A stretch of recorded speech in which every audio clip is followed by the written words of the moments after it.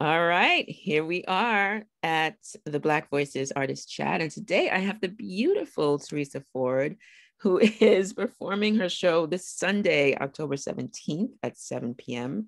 And her show is entitled Annie Lovejoy's Juke Joint.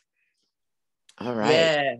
That, All and we, have, we have somebody in the background right there too, who I guess is This is the musical director and my husband, Mr. Kenny Ford. What's up, Kenny Ford?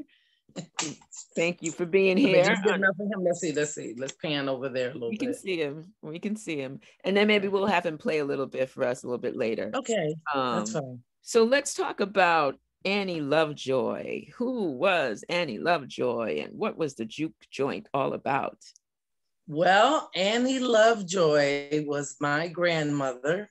Mm-hmm. And uh, they had several generations of bootlegging in my family.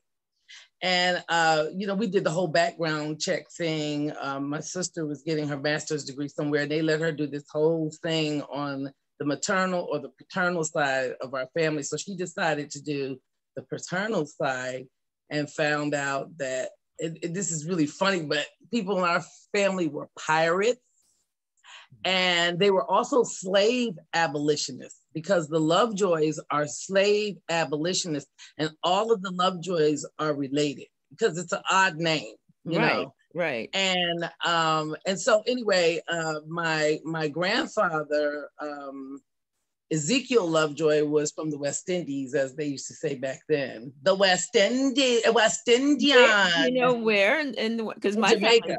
My fa- in Jamaica. My family uh-huh.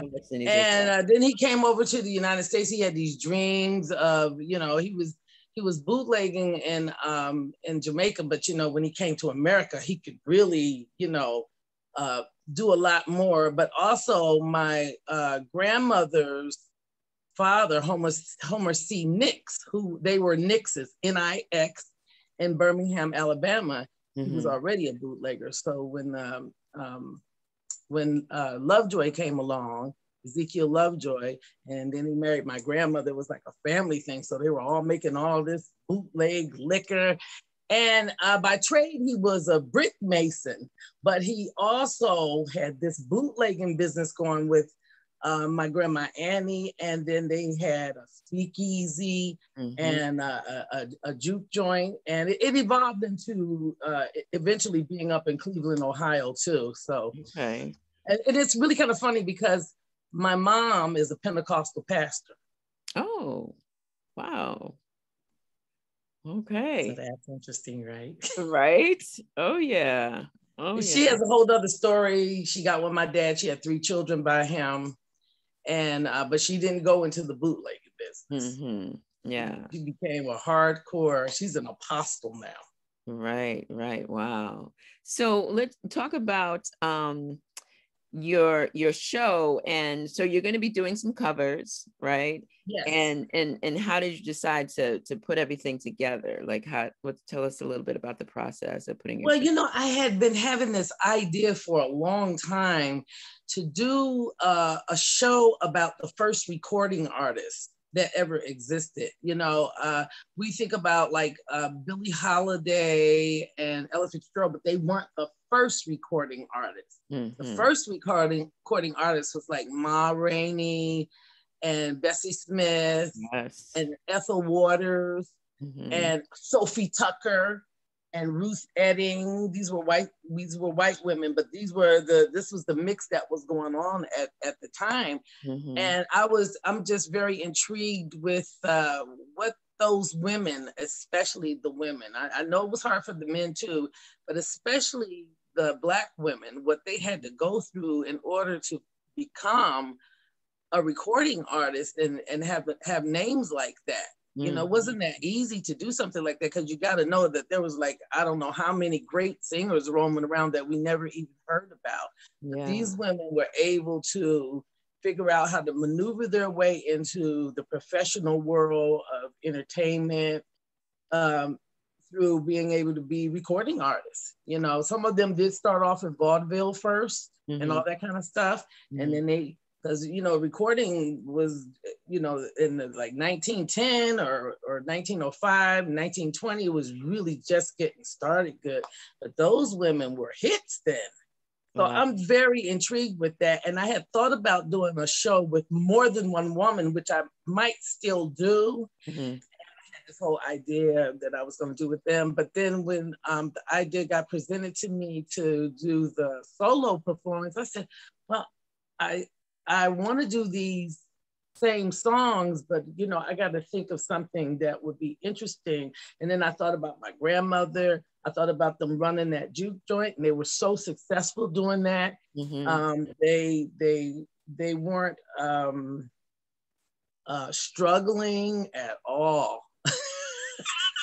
Nice. That's that's, a good that's a story to hear. You know, the, African American family that wasn't struggling back then. That's beautiful. And they never got caught. More of those stories. They never got caught. Well, there, well, there's that. well, and so, and did your grandmother sing as well?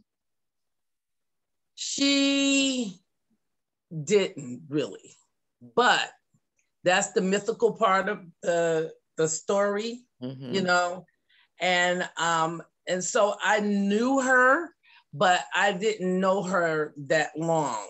Yeah. And so I asked questions, you know, from family members, and I have brothers that my dad, my dad was a lot older than my mom, so I have brothers that were uh, all not as old as my mom, but like a lot older than me, mm-hmm. you know, and and and they told me stuff about that life and what they were doing and how successful they were. And, you know, I started looking them up on the um, ancestry.com thing yeah, uh-huh. and found out, you know, they lived on a really nice street and had a really nice house and stuff like that, you know. So I thought that that story was really, really interesting.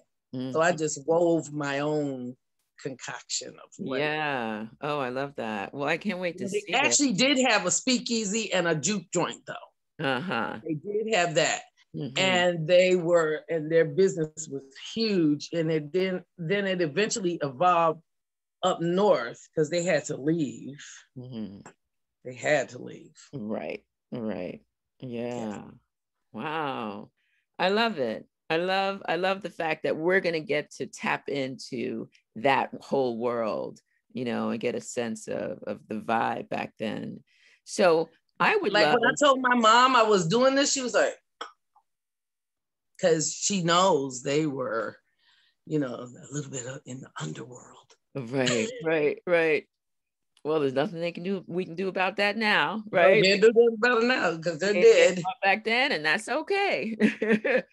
they just created beautiful memories. Yeah, and um, they were upstanding citizens and and and they did have other kinds of jobs too mm-hmm. but um, i really do think that the bootlegging superseded their regular jobs. I, they probably use that as a front. Mm-hmm. yeah. Wow. Wow wow wow so i you know so i know mr mr ford is in the background there right in front of the beautiful keyboard set that he has there. So i would love to hear a little something. And then you know Theresa if you wanted to chime in and do a little singing just to give just a little bit. a little bit just to give everyone a little taste of what they're going to get on sunday. I'll sing something that i'm not going to sing okay. Sunday. all right. Cool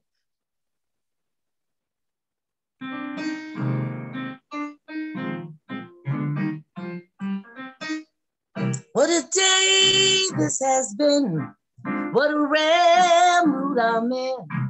Why, it's almost like being in love. There's a smile on my face for the whole human race. Why, it's almost like being in love.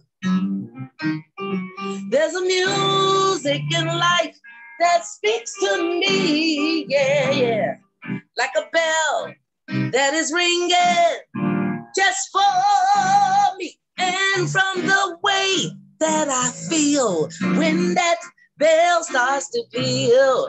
A shabba reba bam bo ba dee ba bow.